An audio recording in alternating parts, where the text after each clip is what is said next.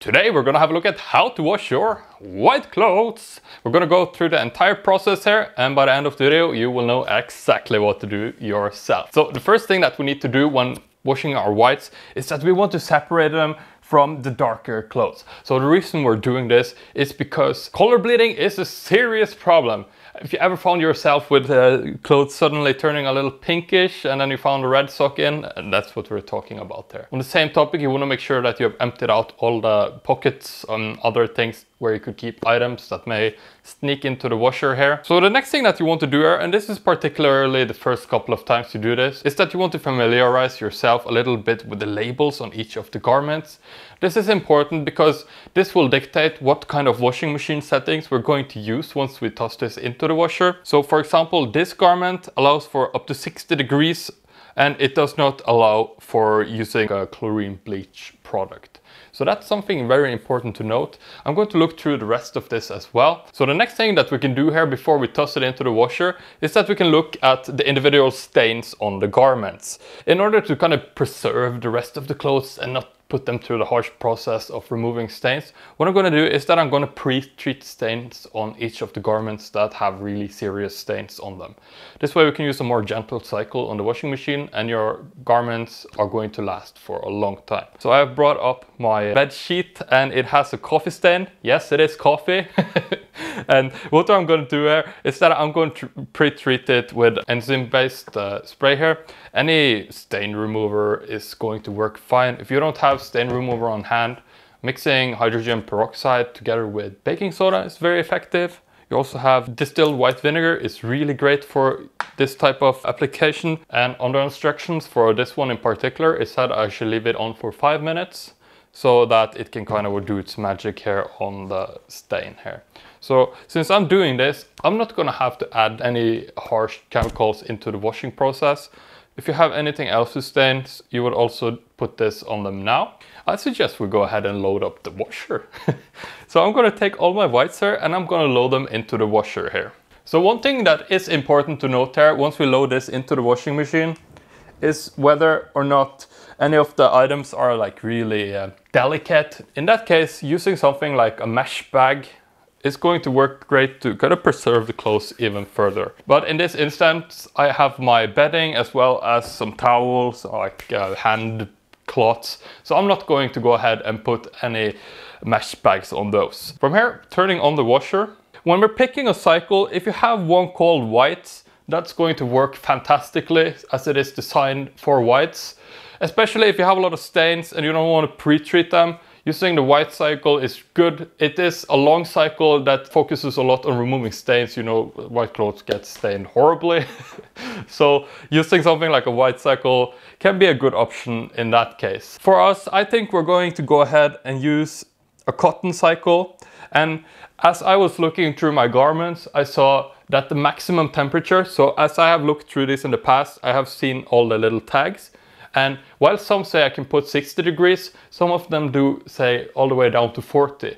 So the problem if I put one that says 60 together with one that says 40 is that I can't put everything on 60. That way it's it's going to damage the one that can only handle 40. So we have to go out from the lowest one uh, in order to not damage the other ones. And the same thing goes with other restriction. If you have one garment that can handle bleach, another one that can't handle bleach, you have to go out from the one that can't handle it, right? Otherwise you have to separate these clothes as well. So I'm going to turn it down to 40 here. And I'm going to use a pretty high spin cycle here as I saw these clothes were a little bit uh, dirty here. And uh, from here we're going to load up the actual tray. So I have brought out this detergent especially made for whites. However, this is a pretty harsh detergent, so what I'm going to do instead is that I'm going to bring out a gentler detergent as we don't need this heavy duty one since we've already pre-treated the stains. So I'm going to use this more standard one, more gentle one, and you can read on the backside how much detergent you actually need to use. This is going to depend on the size of your load. If you have hard water, you know, if you find like lime scale, the, the white stuff on, for example, your faucet, then you need to increase the amount of detergent you use as well. So I'm just gonna go ahead and load that up into the wash tray here. You have three trays, especially on these front loaders. So you have the wash, the pre-wash and the fabric softener. We're gonna forego using the pre-wash one. If you have something like a stain remover that you want to put inside the pre-wash, you would take that now and put that in a pre-wash tray. But in that case, you need to actually turn on the pre-wash setting. And also we want to load up with fabric softener if we want to use it. A cool hack for your hair, if you have distilled white vinegar, this also works great in the fabric softener tray. I have actually started using this exclusively now instead of fabric softener. It doesn't have the same smell, but it does have a lot of the same effects. Also, it's really good for your clothes. It's gonna fluff them up. It's going to help remove any remaining smell. If you like the natural smell of your clothes, 5% vinegar is going to be fantastic. So I'm going to put about the same amount there. And then from here, it is as simple as closing up the tray here, like that. So let's just get started here and I'll see you in two hours and 45 minutes. All right, so the laundry is finally done here. So it is time to move it over to the dryer. Now we can use a drying rack to dry this as well. But for this circumstance, we are going to put it in the dryer because it's going to be a lot better on these uh, items that I like to fluff up. I found that especially things like towels tends to be a little bit um, almost crusty, I would call it, if you don't put it in a dryer.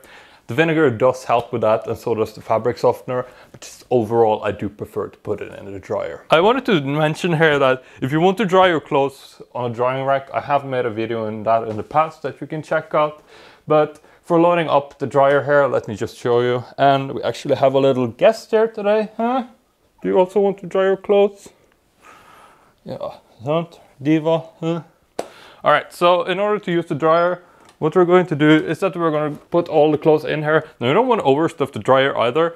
We want to go out again like we did when we were washing. We want to go out from the lowest settings, so or the weakest garment as I like to say. So if one of your garments can't handle high heat drying, but another can, you need to go out from the one that can't handle it.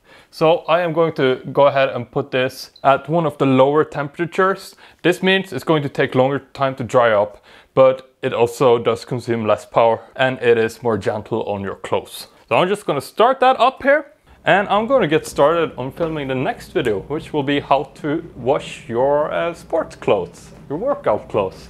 So if you're into that, I'm going to link it here once it's done. Also going to link that uh, how to dry your clothes on a drying rack video in case you need that. And uh, yeah, thanks for watching and I'll see you in the next one.